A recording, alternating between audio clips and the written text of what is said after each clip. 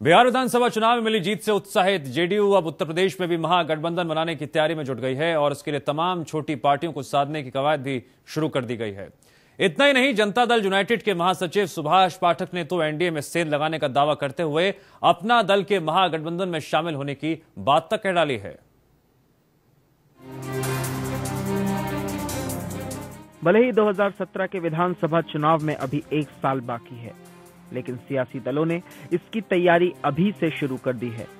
सपा और बसपा जहाँ एकला चलो की राह पर निकल चुकी है तो वहीं जेडीयू बिहार की तर्ज पर उत्तर प्रदेश में भी महागठबंधन बनाकर बीजेपी को घेरने की तैयारी में जुट गई है। जेडीयू महासचिव सुभाष पाठक ने दावा किया है कि उन्होंने एनडीए में सेंध लगाते हुए अपना दल को महागठबंधन में शामिल कर लिया है। हमारी समान विचारधारा की पार्टियाँ हैं यहाँ पर, जैसे पीस पार्टी है और पार्टी है, जैसे ये अपना दल है। हमारे राष्ट्रीय प्रवक्ता ने उस दिन भी आप सभी के सामने बात बताई थी। तो प्रयास जारी है। अगर अपना दल एनडीए से नाता तोड़कर महागठबंधन में शामिल होती है तो बीजेपी को इसका खामियाजा आने वाले विधानसभा चुनाव में भुगतना पड़ सकता है। वो भी ऐसे मौके पर जब बीजेपी दलितों को अपने पाले में करने में जुटी है। अपना दल का अलग होना पूर्वांचल में बीजेपी के लिए मुसीबत का सबब बन सकता है। अभी तो खुद ही गठबंध है जो लोग गठबंधन की कवायद उत्तर प्रदेश में कर रहे हैं पहले वो मना स्थिति से साफ़ हो कि वो उत्तर प्रदेश में क्या लेकर के आएँगे।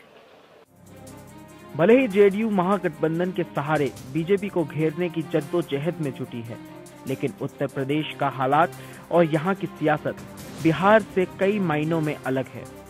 सपा और बसपा जहाँ अपने दम पर चुनाव लड़ने का मन बना चुकी हैं, तो वहीं तमाम छोटी पार्टियों को एक साथ जोड़ना भी किसी चुनौती से कम नहीं है। 2017 में सत्ता का ख्वाब देखने वाली बीजेपी के खेमे में महागठबंधन ने सेध लगाना शुरू कर दिया है। अगर सब कुछ ठीक रहा तो 2017 में एनडीए का साथ छोड़कर महागठबंधन का साथ देगी अपना दल। सियासत के बिगड़ते और बनते समीकरणों में किसका फ़ायदा होगा और किसका नुकसान, ये तो देखना होगा। लेकिन शुरुआती दौर में महागठबंधन ने एनडीए को पटकनी दे दी है।